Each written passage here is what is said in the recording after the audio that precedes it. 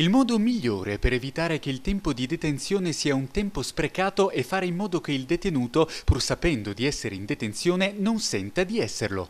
Con questa riflessione di Dostoevsky ha preso il via il convegno Tempo perso, il ruolo del carcere nei percorsi trattamentali di sex offenders e maltrattanti, organizzato e moderato dal garante regionale delle persone detenute Bruno Mellano. L'idea è di riflettere assieme, sentendo buone prassi, progetti ed iniziative nate eh, nell'ambito penitenziario sul delicatissimo tema del trattamento per le persone che sono in carcere eh, sulla base di reati di natura sessuale, di maltrattamento. Mellano ha ricordato che la legge finanziaria nazionale ha previsto nel bilancio 2 milioni di euro annui per il triennio 2021-2023 per garantire e implementare la presenza di professionalità psicologiche esperte all'interno degli istituti penitenziari per consentire un trattamento intensificato cognitivo-comportamentale nei confronti degli autori di reati contro le donne e per la prevenzione della recidiva. È intervenuta la responsabile dell'ufficio detenuti e trattamento del provveditorato dell'amministrazione penitenziaria regionale, Katia Taraschi,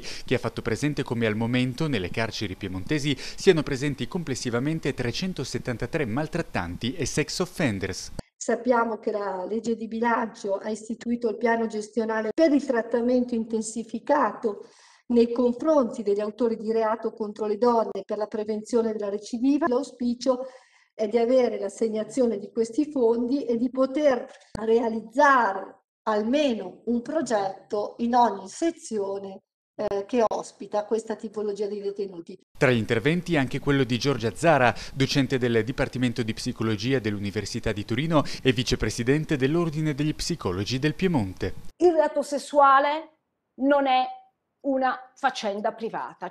Il sex offending e l'intimate partner violence passano per il corpo per offendere la persona, ma è importante sottolineare che non hanno niente a che fare con il desiderio di contatto, col desiderio, di, desiderio dell'intimità e con la sessualità. Sono intervenuti anche Dea Demian Pisano, assistente sociale ed esperta presso l'ufficio del garante regionale della Campania, la coordinatrice della formazione dei progetti speciali del Dipartimento di Salute Mentale dell'ASL Roma 1, Adele Di Stefano, e il presidente del Centro Italiano di Promozione della Mediazione, Paolo Giulini. Ha chiuso i lavori il portavoce dei garanti territoriali ed docente del Dipartimento di Giurisprudenza dell'Università di Perugia, Stefano Anastasia. La sfida è difficilissima, noi garanti possiamo, possiamo far tanto, intanto per il coinvolgimento delle istituzioni e degli enti, degli enti territoriali.